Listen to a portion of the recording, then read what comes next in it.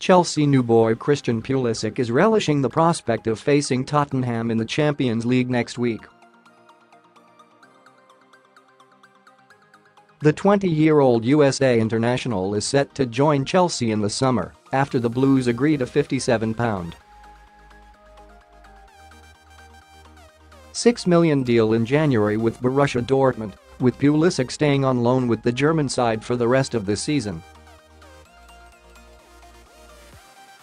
As such, he could come up against one of Chelsea's Big Six Premier League rivals in the Champions League next Wednesday, with Spurs set to host Dortmund at Wembley in the first leg of the last 16 tie.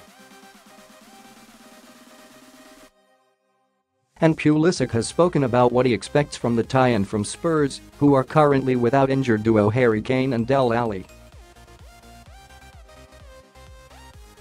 I think it's going to be a really attacking, flowing game, he said, as quoted on the Bundesliga website.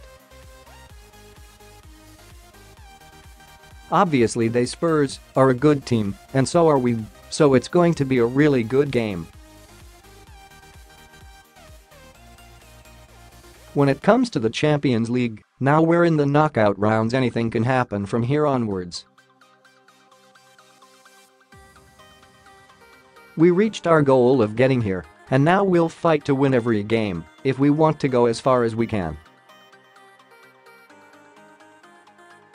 Meanwhile, Pulisic has spoken of his desire to end his time in Germany on a high, with Dortmund currently 7 points clear at the top of the Bundesliga. Dortmund did exit the DFB Cup in midweek as they lost out to Werder Bremen on penalties, with Pulisic netting in the cup tie, which finished 3-3 after extra time.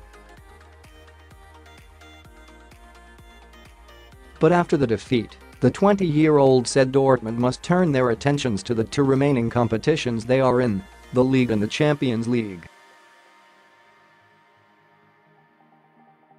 We wanted to win the cup as well, he said. But now we have to focus on the league and the Champions League. I love being here. I've had a great time, and I really want to finish strong.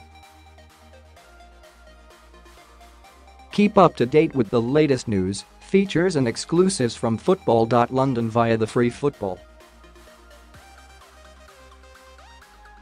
London app for iPhone and Android. Available to download from the App Store and Google Play.